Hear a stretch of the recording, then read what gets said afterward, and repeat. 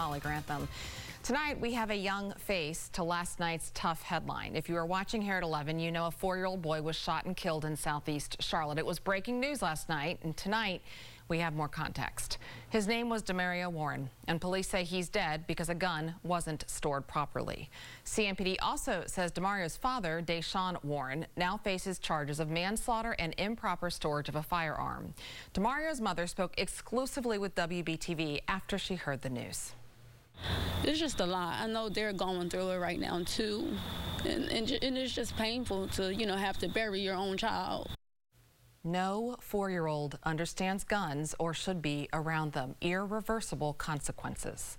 Lileana Pearson is live tonight, and as we're on your side, making sure, Lileana, everyone knows a few key things to do to keep guns locked up and kids safe. What did you find tonight?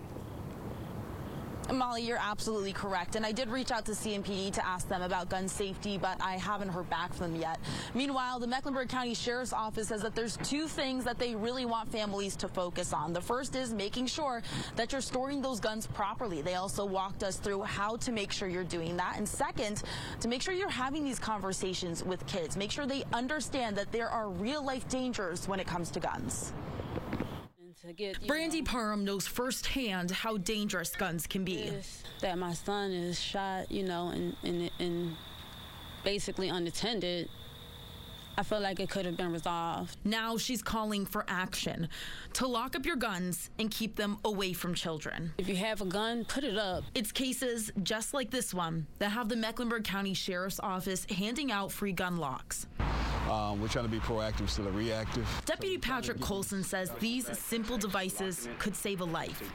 All you have to do is take out the gun's magazine, clear the chamber, and thread through the lock making it impossible for the firing mechanism to engage. Keeping guns stored in a gun safe is also a good measure. Get a gun box or a gun vault or things of that nature. Um, make sure that out of the reach and out of the sight of the children. Colson says kids see guns in movies and video games. They don't understand the real life consequences that comes with handling them. They are not sure whether or not the guns are safe and things of that nature. Finally, talk to your children so they understand when they see a gun, they need to find an adult. Tell the parent that you saw the gun and, you know, let the parents or the, the guardians just move it to a place where it's more safe.